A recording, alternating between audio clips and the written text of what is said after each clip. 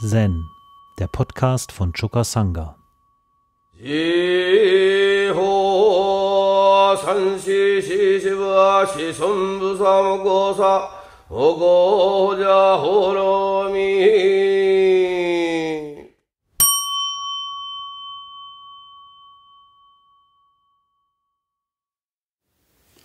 Ja, eigentlich wollte ich heute über das Koan sprechen. Ziming kümmert sich um den Herd. Das ist eine lustige Geschichte, dass der Abt Ziming nicht zum Tesho erscheint, weil er unterwegs ist. Ich kann ja mal ein bisschen andeuten, äh, was da in dem Koan steht. In der Nähe von Zimings Tempel lebte eine alte Frau, deren Tiefgründigkeit niemand so recht durchschaute. Ziming ging hin, immer wenn er Freizeit hatte. Eines Morgens an einem planmäßigen Vortragstag ertönte die Trommel, die den Vortrag ankündigte, nicht obwohl das Frühstück eine lange Zeit zuvor beendet worden war. Yang Ji, der seinerzeit der Tempelvorsteher war, fragte einen Laienbruder, warum die Trommel nicht geschlagen worden war. Weil der Abt abwesend ist und noch nicht zurückgekehrt ist, erwiderte der Bruder. Yang Shi ging unverzüglich zum Haus der alten Frau und schaute hinein. Ming kümmerte sich um den Herd, während die Frau etwas Reisbrei umrührte. Heute ist ein Vortragstag und die Versammlung der Mönche hat lange gewartet, sagte Yang Shi. Warum bist du nicht heimgekehrt? Wenn du mir einen Kehrsatz angeben kannst, werde ich zurückkehren, erwiderte Ziming. Wenn nicht, dann können alle miteinander fortgehen, nach Osten, Westen oder wohin auch immer. Tja, Yang Shi bedeckte seinen Kopf mit seinem Bambushut und ging einige Schritte. Sehr zufrieden ging Ziming mit ihm zum Tempel zurück. Diese lustige Geschichte, das wäre natürlich heute ein Fall für MeToo. Ja. Dabei ist es sehr instruktiv, sich mit alten Frauen zusammenzutun. Das kann ich euch versichern weil Lorena, eine Verwandte von mir, die mit dem Roshi größte spirituelle Lehrerin für mich gewesen ist in meinem Leben. Und heute ist ihr 121. Geburtstag. Und da will ich mal ein wenig an sie erinnern, um euch mal zu verdeutlichen, wie wichtig der Kontakt zu alten Frauen, deren tiefgründige Weisheit man eben nicht ohne weiteres ergründen kann, ist. Ja. Und deshalb komme ich jetzt auch gleich zu Lorena. Ich habe von ihr so viele Weisheiten gelernt, aber sie war mir am Anfang äh, gar nicht vertraut. Wer ist sie also? Als ich Lorena das erste Mal als erwachsener Mann ansprach und zu ihr Tante Lorena sagen wollte, meinte sie, ich bin hier für alle Lorena. Nenn mich einfach Lorena. Als wir einmal über das Sterben und die Grabgestaltung sprachen, sagte sie, ich wünsche mir dort, wo ich begraben werde, einen einfachen Feldstein mit der Aufschrift Lorena. Nichts anderes. Einfach nur Lorena. Und so ist auch in ihrem Grab in Heidelberg neben ihrem berühmten Mann Alexander Rusto ein Feldstein. Da steht drauf Lorena. Äh, Lorena ist meine Großtante, die Schwester meiner Großmutter Elisabeth Fitzzu. Und sie trat das erste Mal in mein Leben, als mein Bruder Peter und ich zu meiner Mutter von Uetersen, dem bisherigen Wohnsitz der Familie, nach Heidelberg umzogen. Sie selbst wohnte zusammen mit Onkel Alexander Rüstow, dem berühmten Soziologie- und Wirtschaftsprofessor, der damals schon in den 70ern war. Da zog sie ihren gemeinsamen Sohn Helmut und ihre Nichte Sabine lebt so, die die Lieblingscousine meiner Mutter war. Äh, die zog sie damals auf und die waren damals so ungefähr zehn Jahre alt. Ja, sie wohnte da in der Nähe des Neckarufers in der Mönchhofstraße. Und im Vordergrund eines schlichten Mietshauses stand ein Magnolienbaum. Und Lorena verfasste später dieses Gedicht dazu. Magnolien von oben gesehen aus meinem Fenster gebeugt, das kleine Rasenstück, der junge Magnolienbaum, mein dunkles Wesen, eingeengt durch die Winterzeit, erhält sich lenzhaft, weiße Atlasblüten im Mondenschein aufglänzend in erster Frühlingsnacht. Am Tage das zarte Rosa der Flamingos schenkend. Auf feuchtem Grasgrund mit frischer Erde behäufelt, Märzregen getränkt, zerspringt der Baum in tausend Blüten doch die Gestalt noch wahrend, ein Zittern bis in die äußersten Verzweigungen und in die feinsten Verästelungen meiner Sinne. Lorena war damals ungefähr 48, meine Großmutter 45, die lebte zu der Zeit auch in Heidelberg. Ja, und Helmut und Sabine. Also die wuchsen da wie Geschwister bei ihr auf. Äh, Sabine war ein, wie ein Pflegekind bei den Rüstus und deren Mutter Helene war die jüngste der sechs Geschwister. Mit dem Bruder Dieter meines Großvaters, Hinrich Levenzow, war Helene verheiratet. Also zwei Cousinen hatten zwei Vettern geheiratet und Helene selbst hatte fünf Kinder, zu denen eben auch Sabine gehörte. Sabine lebt heute noch, ist über 80 und ich habe sie vor ein paar Wochen gesehen. Sie ist immer noch voll vital und äh, Lorena selbst war die vierte in der Geschwisterfolge. Sie hatte eine sehr viel ältere Schwester Eva, die sich der Anthroposophie verschrieben hatte und in Dornach in der Schweiz lebte. Dann kamen die Brüder Wolfgang, der im Zweiten Weltkrieg beim Russlandfeldzug als Panzerfahrer umkam, und Burkhard, der nach Finnland ausgewandert war und sich dort zu einem Papierfabrikanten hochgearbeitet hatte nach der Tellerwäschermethode.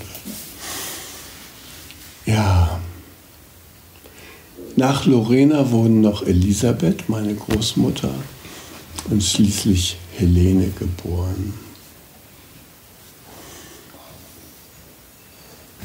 Als Lorena ungefähr fünf Jahre alt war, wäre sie fast einmal ertrunken.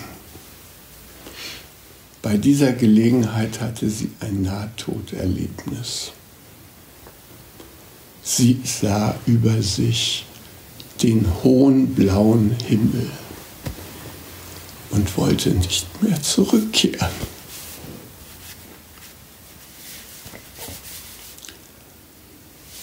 Als sie später einmal gefragt wurde, ob sie Angst vom Sterben habe, sagte sie, nein, ich habe den hohen blauen Himmel gesehen. An ihre damalige Stimmung erinnert ein Gedicht von ihr.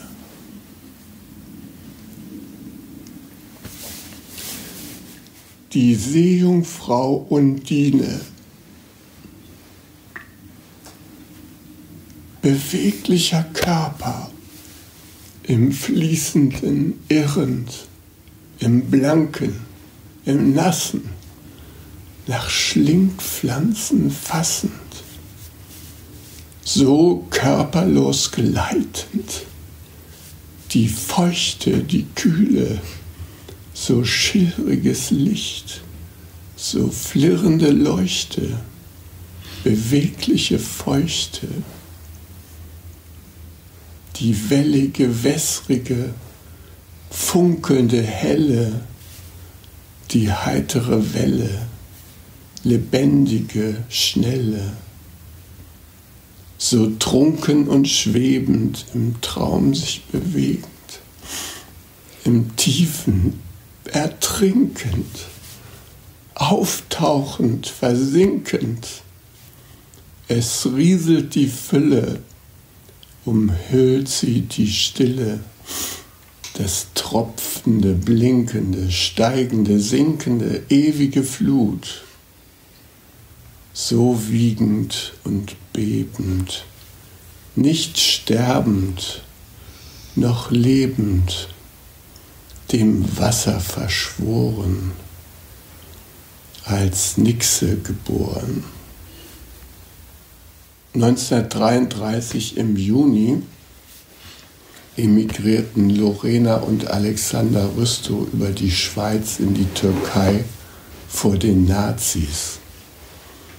Alexander, der unter der Weimarer Regierung Schleicher eigentlich Wirtschaftsminister werden sollte, stand auf der schwarzen Liste der Gestapo und musste damit rechnen, von den Nazis umgebracht zu werden. Nach Hitlers Machtergreifung war daher keine Zeit zu verlieren. In der Türkei Atatürks wurden Wissenschaftler gesucht, um die Entfaltung der Wissenschaft in einer laizistischen Türkei zu fördern. So wurde Alexander an die Universität Istanbul auf den Lehrstuhl für die Wirtschaftsgeographie und Wirtschaftsgeschichte berufen. In dieser Zeit entstand unter erschwerten Bedingungen sein Hauptwerk Ortsbestimmung der Gegenwart. Alexander, der schon sechs Kinder hatte, wollte in dieser Zeit kein weiteres Kind haben. Doch Lorena setzte sich schließlich mit ihrem Kinderwunsch durch. Und Helmut wurde geboren. Die Geburt fand unter unmöglichen hygienischen Bedingungen statt, sodass Lorena fast noch im Kindbett gestorben wäre. Vorher stand ihr Leben schon auf Messers Schneide. Als ihre Pässe abgelaufen waren, weigerte sich die deutsche Vertretung in Ankara, Lorenas und Alexanders Pässe zu verlängern. Nach dem Tod Atatürks arbeiteten die türkischen Behörden teilweise mit den Nazis zusammen. Es gab den Plan, Migranten ohne Papiere ins Niemandsland hinter die türkische Grenze zu treiben um sie dort zu erschießen. Auch Lorena und Alexander gerieten in dieses Niemandsland, wurden aber gerettet. Lorena hat ihre damalige Gemütsverfassung in ihrem Gedicht Das Silberschiff festgehalten.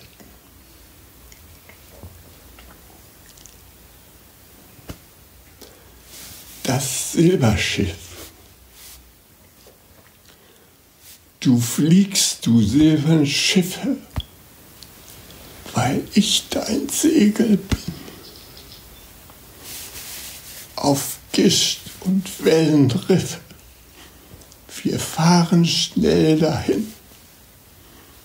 Durch mich wirst du zum Vogel, du erdenschweres Boot. Es sprüht und lacht das Wasser die Liebe und der Tod. Wir treiben auf dem Meere, so heiter, ohne Schwere, als flögen wir davon. Auch morgen sind wir beide im großen Nichtsein schon.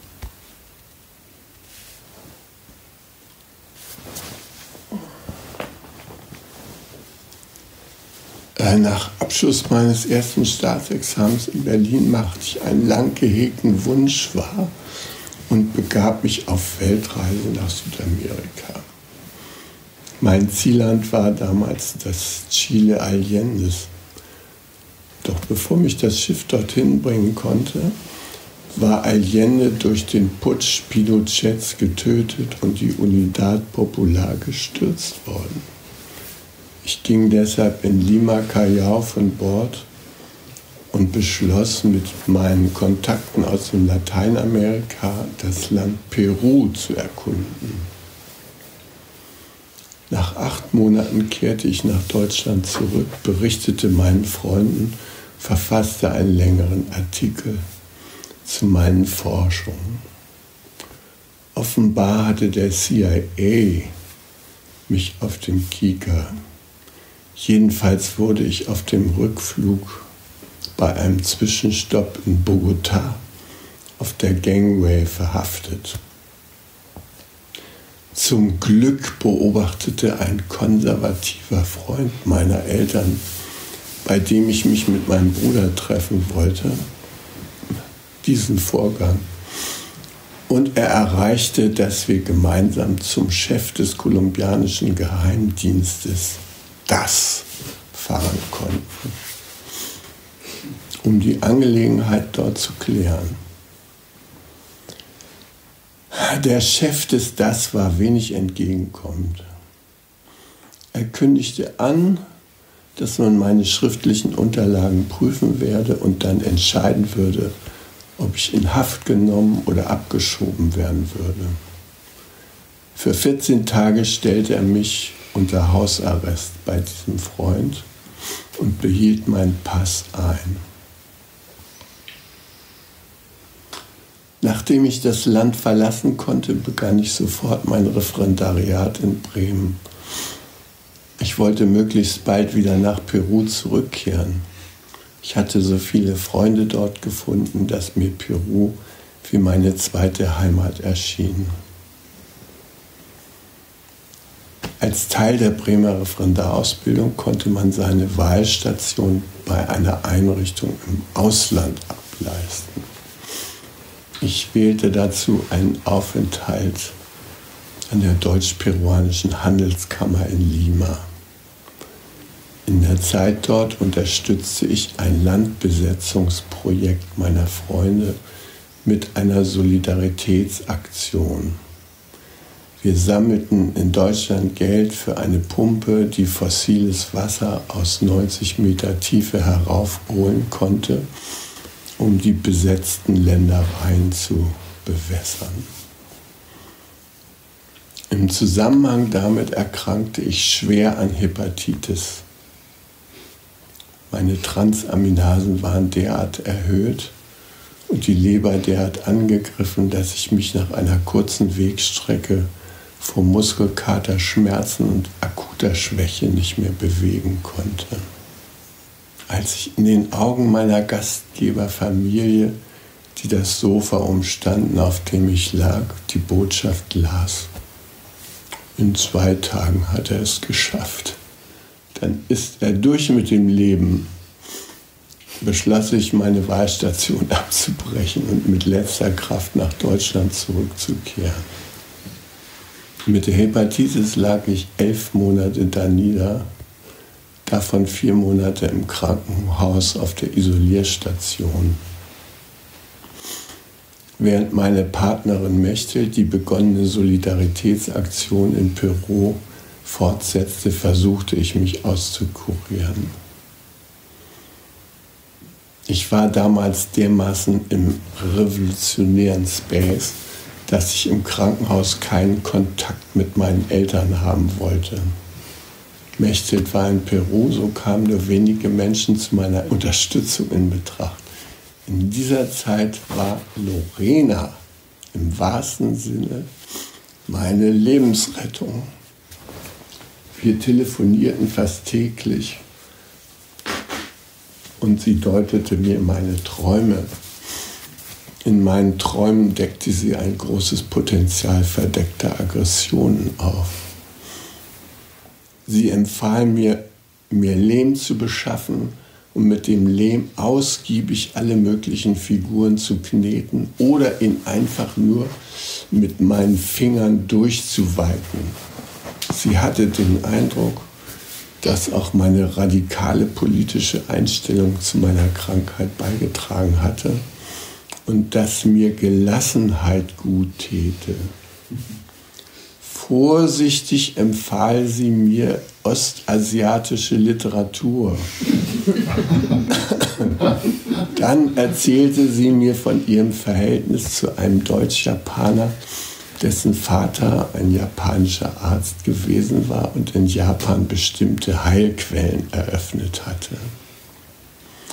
Dieser Freund hatte vier eheliche Kinder und wie sich später herausstellte, auch noch eine nicht eheliche Tochter.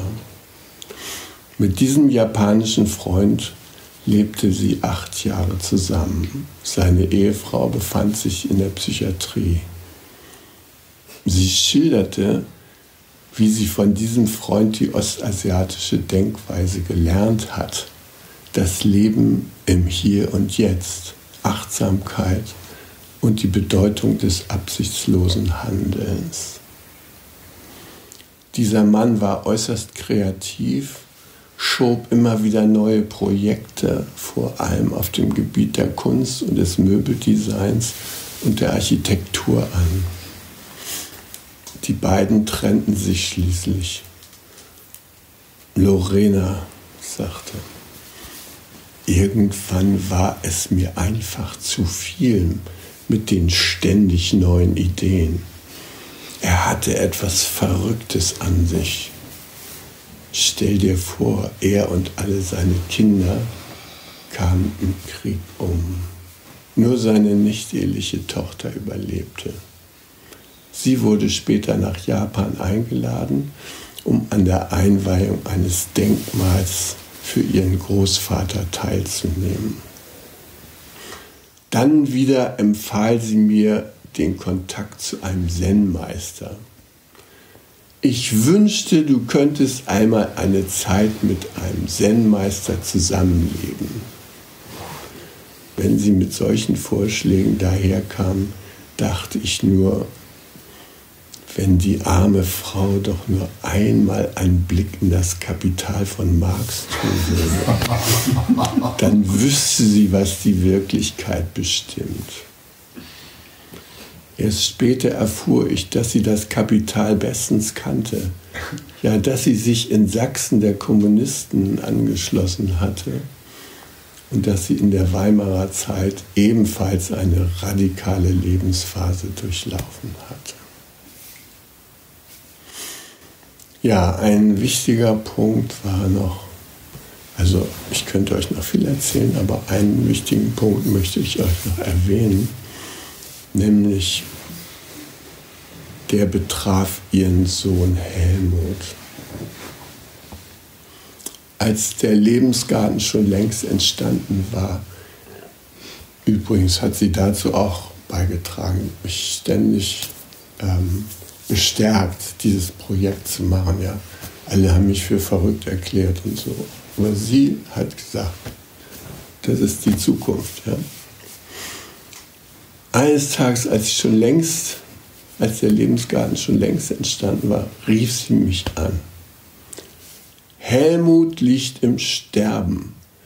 Bitte komm und hilf mir, seine Wohnung in Frankfurt aufzulösen.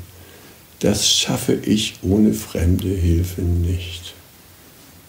Helmut, der damals bei der Frankfurter Bank als Organisationsfachmann arbeitete, hatte sich beim Anziehen eines Schuhs eine Wunde in seine Hacke getreten.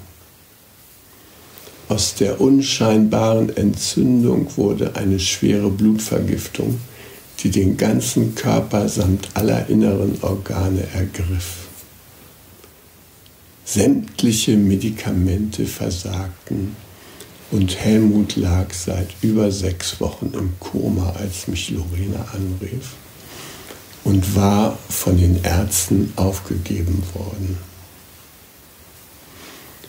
Übermorgen werden die lebenserhaltenden Maschinen auf der Intensivstation abgeschaltet. Das ist dann das Ende, sagte sie. Als ich in Heidelberg ankam, wollte ich Helmut unbedingt noch einmal im Krankenhaus sehen wie ich ihn an seinen Schläuchen und Geräten hängen sah, kam er mir so vital vor. Ich konnte mir gar nicht vorstellen, dass dies sein vorletzter Lebenstag sein sollte. Als Lorena und ich wieder in der Mönchhofstraße waren, machte ich abends den Vorschlag, dass wir uns gemeinsam in der Meditation noch einmal mit Helmuts Seele und Geist verbanden. Wir setzten uns für eine Stunde in Stille hin und meditierten über den Satz, Helmut, wenn du gehen willst, werden wir das akzeptieren. Aber wenn du bleiben und weiterleben willst, dann werden wir uns sehr darüber freuen. Am nächsten Tag gingen wir erneut zu Helmut in die Klinik. Eine Stunde vor dem geplanten Aus.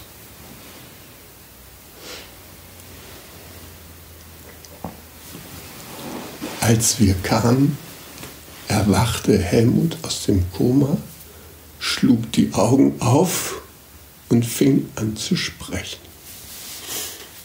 Ein Wunder war geschehen. Nun setzten die Ärzte die Behandlung fort. Es dauerte noch lange, bis Helmut wieder ganz gesund wurde. Doch heute lebt er noch und ist beschwerdefrei. Ja, zum Schluss noch ein kleines Gedicht von Hanh. Du bist ich und ich bin du. Zeigt sich nicht deutlich, dass wir miteinander verbunden, ineinander verwoben sind? Du hegst die Blume in dir, damit ich schön werde. Ich verwandle den Unrat in mir, damit du nicht leiden musst. Ich unterstütze dich, du unterstützt mich. Ich bin auf der Welt, um dir Frieden zu schenken. Du bist auf der Welt, um mir Freude zu sein. Hanh 1989. Hi. Um jungen Menschen den Aufenthalt im Togenji zu ermöglichen, bitten wir um ihre Spende. Alle Spendenmöglichkeiten finden Sie auf chukasanga.de/spenden.